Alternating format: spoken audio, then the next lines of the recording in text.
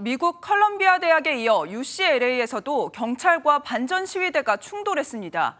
경찰은 시위대를 강제 진압해 해산시켰는데 충돌로 인한 부상자도 속출했습니다. 이번 반전 시위가 시작된 컬럼비아 대학에 나가 있는 저희 특파원 연결하겠습니다. 최중락 특파원. 네, 컬럼비아 대학교 앞에 나와 있습니다. 네, 그곳이 경찰이 전기 쇠톱과 해머를 동원해서 시위대를 강제 진압했던 곳이죠.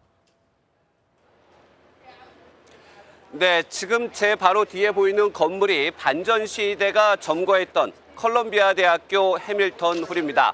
아, 현재는 건물에 들어가는 입구가 통제되고 있고 아, 경찰들이 학생들의 신분증을 일일이 검사하고 있습니다. No, the campus is closed. 아, all cross. The campus is closed. So- watch your back. Car's coming. Watch your back.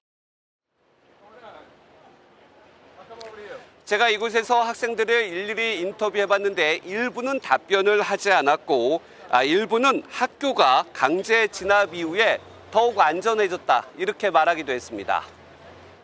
I think the they're making it seem worse than it is. I think Uh-huh. that on campus it's very safe. 경찰은 지난달 29일 밤 사이에 이번 반전 시위의 근원지인 컬럼비아대를 전기 쇠톱과 해머를 이용해 진입했고 아, 시위대 200여 명을 넘게 연행한 바 있습니다. 네, 그런데 지금 특파원이 나가 있는 미국 동부뿐만 아니라 서부 지역 대학교에서도 강제 진압이 이뤄졌다고요. 네, 이곳 컬럼비아 대뿐만 아니라 서부 UCLA 대학에서도 아, 경찰들이 새벽에 친팔레스타인 시위에 대한 강제 진압에 나섰고 아, 텐트 등을 철거했습니다.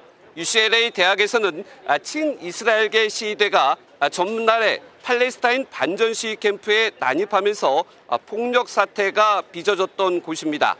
아, 경찰의 강제 진압 과정에서는 아, 시위대와의 몸싸움도 벌어졌습니다. UCLA 관계자는 아, 충돌로 15명이 다치고 친팔레스타인 시위대 1명이 입원했다고 밝혔습니다.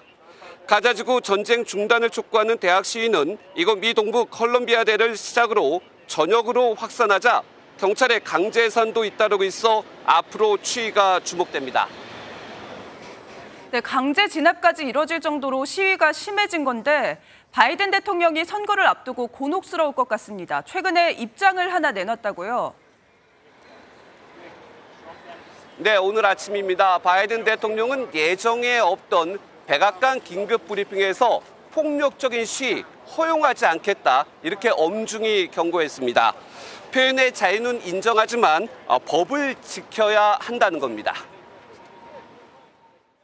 We are not an authoritarian nation where we silence people or squash dissent.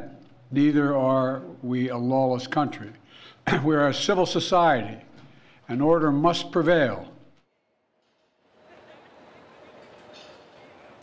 그러면서 시위를 정치적으로 이용하는 세력이 있다고 비판했는데 아, 제대로 대응하지 못하고 있다고 말한 트럼프 전 대통령을 겨냥한 것으로 보입니다. 지금까지 컬럼비아 대학교 앞에서 NBN 뉴스 최종락입니다.